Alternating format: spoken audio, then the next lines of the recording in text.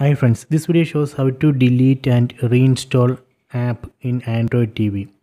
So here I am going to delete and reinstall Disney Plus Hotstar app. First we need to go to settings, select settings, then select apps, then select see all apps. So this is a list of installed apps. From this list I need to find Disney Plus Hotstar app.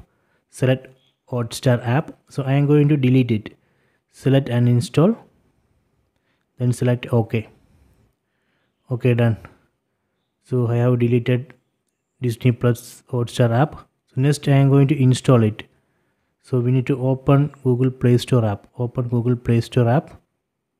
Then select search.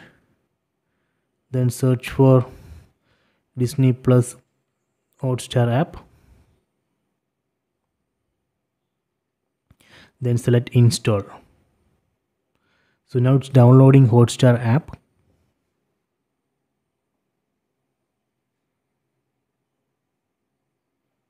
So now it's installing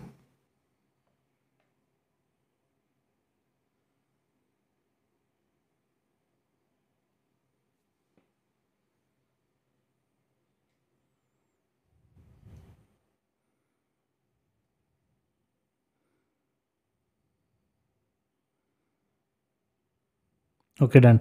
Installation has been completed. Let me go back. So i am going to open hotstar app. So this way we can delete and reinstall app in android tv so please try this